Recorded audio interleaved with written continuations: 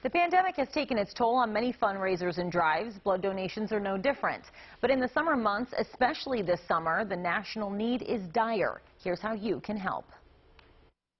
For Adam Landy, it's a moral obligation. So I try to come uh, donate uh, every 60 days, every two months, um, as a way to give back to my community. A family member of his needed a blood transfusion a few years back. So now he tries to send his blood to someone in need locally. I get the updates on the app of where my blood has gone. It's gone uh, to Johns Hopkins, to Sibley, um, the local hospitals, University of Maryland uh, ho hospitals.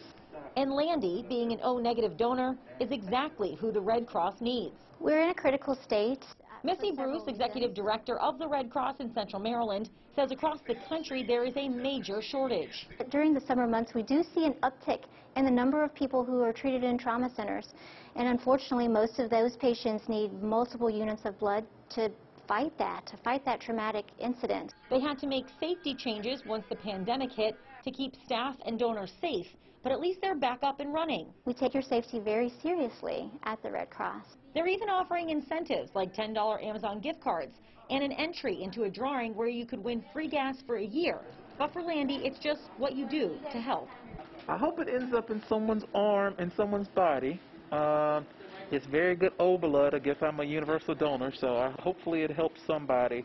University of Maryland Medical System's Medical Director of Transfusion Services, Dr. Fontaine, says in our area we have enough blood for now, but nobody should get comfortable. We are getting what we need, so we are okay.